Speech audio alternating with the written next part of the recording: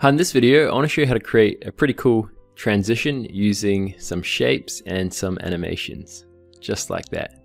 So as you can see, we've got this really nice looking animation. This will look, look really good with explainer videos, um, and basically any kind of video you like with this really nice looking shape transition. So what we're going to do is basically delete all these uh, shapes, and again, just go to the shape tool over here, and what you're to do is type in button and uh, simply select this shape here, okay? So what I'm going to do is just resize this and make it a lot bigger so that it kind of fits the top half of the screen like that. And that's looking good. And what I'm going to do to make it even simpler is to use motion presets. You can do this with uh, position custom animations, but I'm going to use motion presets. I'm going to type top right for this one. And I'm going to go to motion and select slide left, okay?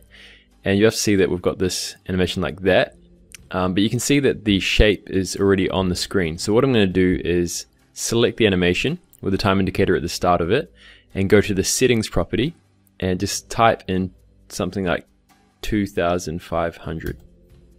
Okay, so, or maybe a little bit more, maybe 2600.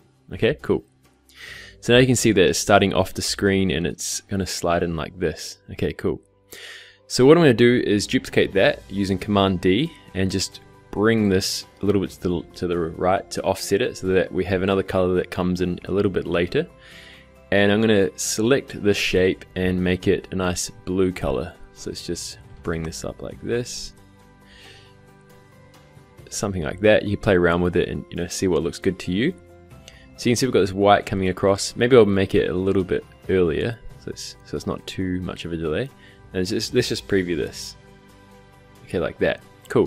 So you can make it a little bit faster. Maybe I'll just drag this out a little bit faster.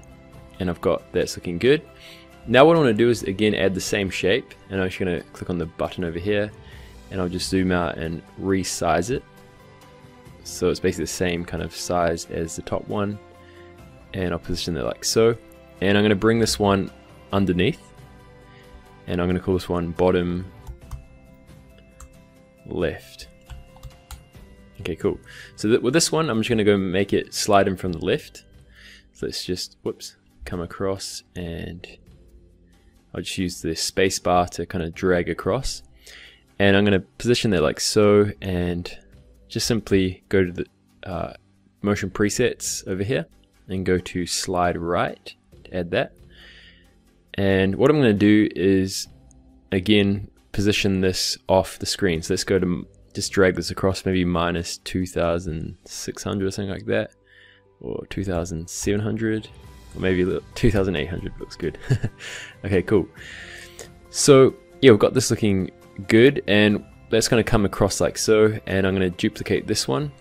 And again, I'll just make it offset the same kind of uh, speed or duration as this one here. And I'm going to again change that color. So click on the color options and I'm going to select this uh, eyedropper tool and simply select that color so it's the same as the top one. And you'll be able to see now if I just preview this through from the start, you'll be able to see a really nice transition that we just created like that. Cool, so that's how easy it is to go through and create this nice looking transition, just simply creating one our shape sliding to the left, one sliding to the right, and just basically duplicating it and changing the colors and then offsetting it a little bit so they start a little bit later like that. Like so. Cool. So have fun creating some nice transitions inside Create Studio.